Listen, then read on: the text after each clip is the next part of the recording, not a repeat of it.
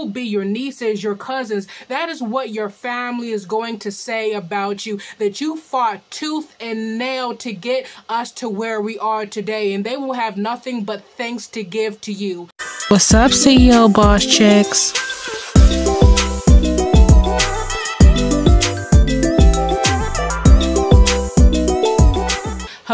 CEO, boss chicks, trendsetters, and women of God. If you are new here, welcome to my channel. My name is Chante Whisonant, and on this channel, we help equip Christian women to be impactful leaders in business and in the kingdom of God.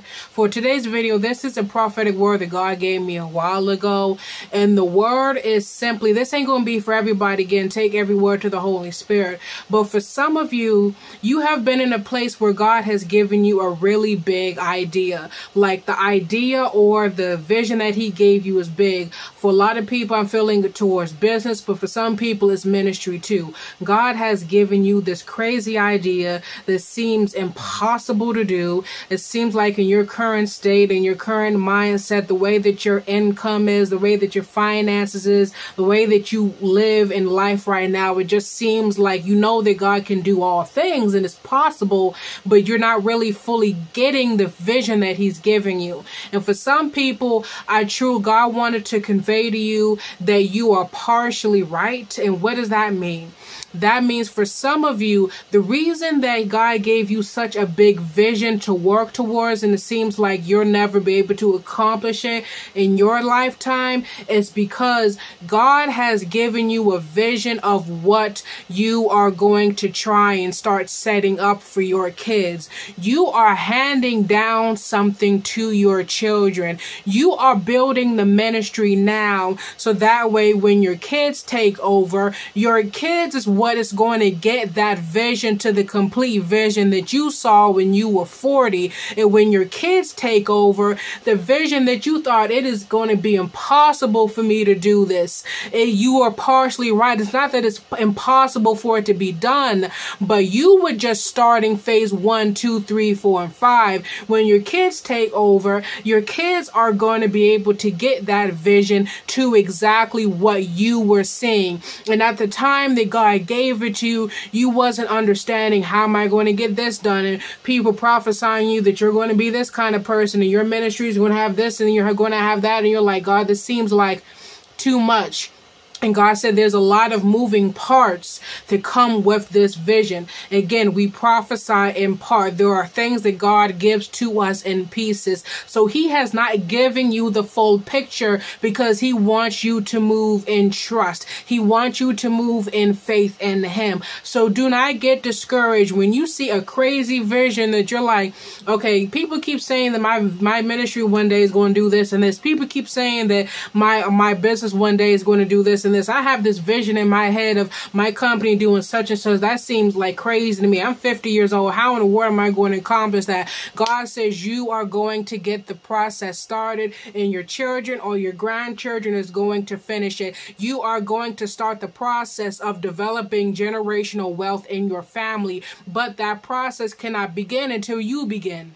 What you are doing is you are setting up chain reactions. You are setting up domino effects. How many people know that maybe if they would have grew up in a different environment, maybe their life would have been a little different. Maybe if their parents would have made did some things the right way, the way God told them to, maybe they wouldn't have went through as much stuff as they went through. But you know what? Nobody's perfect. People make mistakes. It is going to be the same thing with you. There are things that I need you to listen to me. There are things that your children and your grandchildren and your great grandchildren can avoid. There are going to be things that is going to be more than possible for them to avoid if you do what you what God has told you to do. If you pursue the business that God has told you to pursue. For some of you it's just as simple as you getting things started because I watched my father dabble in entrepreneurship growing up and have having fish fries and having a candy business.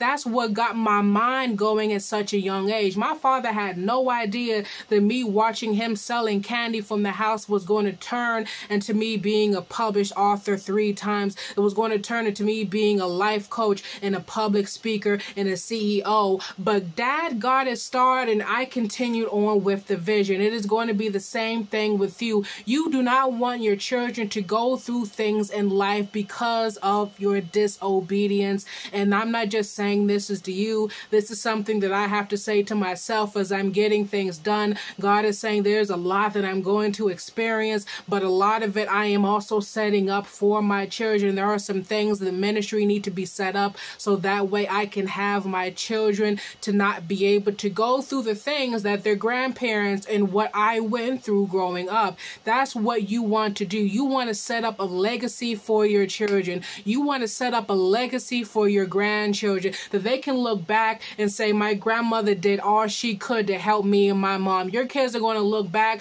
and say, My mom did everything she could to get us out of that neighborhood. She followed God, she sacrificed, and she did everything she could. And because of my mom's sacrifices, that's why I'm a multimillionaire. Because of my mom's sacrifices, that's why I'm an apostle. That's why I'm a prophetess. Because of what my mom did, my mom cried and she She didn't even know what she was doing. She didn't know why she was going through all of this. All she knew was with the vision that God gave her. And that she went through it and she did it. And now because of my mom's sacrifices, my mom obedience, this is why I am here. And that is what your kids and your grandkids, even your nieces and nephews, for some of you that don't have children, maybe some of you don't have kids and grandkids you can hand stuff down to. It will be your nieces, your cousins. That is what your family is going to say about you, that you fought tooth and nail to get us to where we are today. And they will have nothing but thanks to give to you because of your obedience. They're not going through hard times because the tears you cried, your daughter will never have to cry the tears that you cried, but you have to sow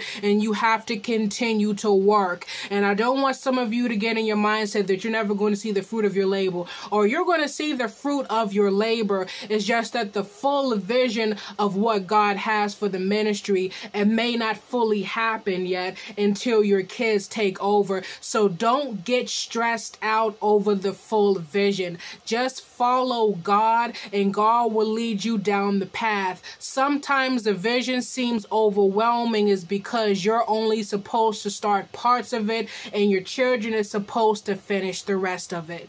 Just get the process started. All right, you guys, that is it for today's video. I pray this video was able to speak to you. I pray that the Holy Spirit confirmed something to you that maybe I said to you before, or maybe it gave you some revelation, okay?